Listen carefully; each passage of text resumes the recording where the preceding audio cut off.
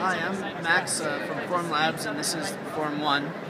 So I'll, I'll give you a little tour right here of, of what's inside. So, uh, open up the cover, and this is the build platform. Just got a simple latch, pops off, clip it in like that. This is a removable tray.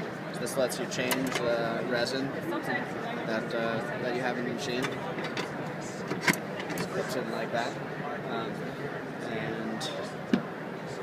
so to, to, when you get the machine, um, pull out of the box, plug in power, plug in the USB, and pour in the liquid, and it's actually ready to go.